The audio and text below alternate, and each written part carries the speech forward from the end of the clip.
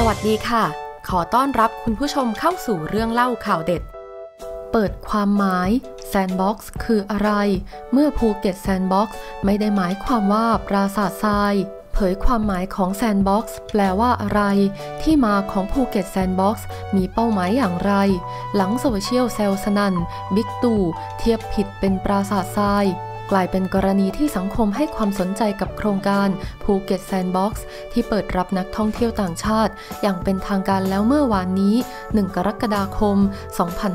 2564 ซึ่งมีพลเอกประยุทธ์จันทร์โอชา นายกรัฐมนตรี และคณะเดินทางลงไปเปิดงาน ช่วงหนึ่ง นายกกล่าวว่า เปรียบภูเก็ตแซนด์บ็อกซ์เป็นปราสาททรายกล่าวคือแซนด์บ็อกซ์คือการก่อสร้างด้วยทราย ต้องเติมอิฐหินปูนไปอีกเยอะ เพื่อให้เกิดความเข้มแข็ง ให้การท่องเที่ยว มีประสิทธิภาพ เป็นการท่องเที่ยวที่มีคุณภาพและปลอดภัยนั้น ภายหลังประโยคดังกล่าวถูกเผยแพร่ออกไป ในโลกออนไลน์อย่างทวิตเตอร์มีการผุดแฮชแท็กภูเก็ตแซนด์บ็อกซ์จนติดเทรนด์ประเทศไทยโดยวิจารณ์ถึงเรื่องที่นายกบอกว่าแซนด์บ็อกซ์คือปราสาททราย เพราะความจริงแล้วมันไม่ได้หมายความแบบนั้นโดยสิ้นเชิง นอกจากนี้ยังวิจารณ์ถึงภาพที่นายกและคณะ นั่งร่วมโต๊ะไม่สวมแมสก์ ชมวิวภูเก็ต โดยมองว่าเป็นภาพที่ไม่เหมาะสมกับสถานการณ์ในตอนนี้แซนด์บ็อกซ์คืออะไรแซนด์บ็อกซ์แปลว่ากระบะทราย ซึ่งเด็กๆ สามารถเล่นในพื้นที่ได้ปลอดภัยไม่บาดเจ็บ อีกความหมายหนึ่งคือการเปรียบเทียบกับพื้นที่ ซึ่งใช้ทดสอบระบบ เพื่อดูว่าจะได้ผลลัพธ์ดีหรือร้ายอย่างไร กรณีเกิดความผิดพลาด ความเสียหายก็จะอยู่ในพื้นที่นี้ไม่กระจายไปยังพื้นที่อื่น ด้านเพจ thaiarmedforce.com ให้ข้อมูลเพิ่มเติมว่า ในแวดวงเทคโนโลยีสารสนเทศ หรือ IT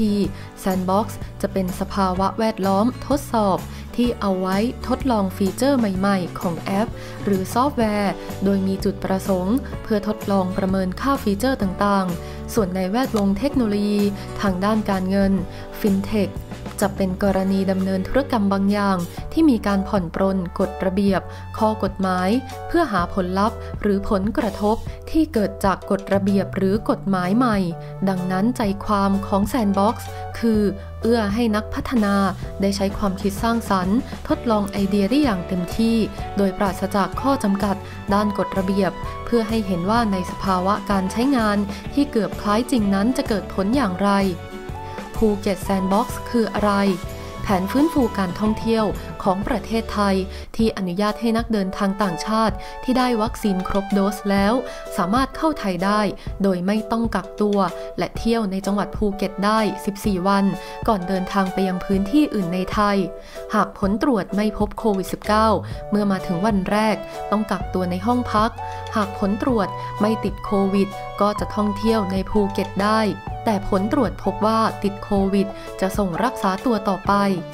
คนไทยในต่างประเทศเข้าภูเก็ตทำอย่างไร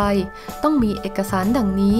1. เอกสารเพื่อขอหนังสือรับรองเดินทางเข้าประเทศไทย Certificate of Entry หรือ COE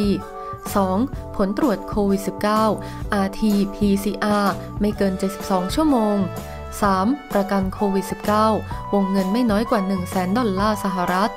4. หลักฐานชำระค่าที่พัก 14 วัน และค่าตรวจโควิด -19 จำนวน 3 ครั้ง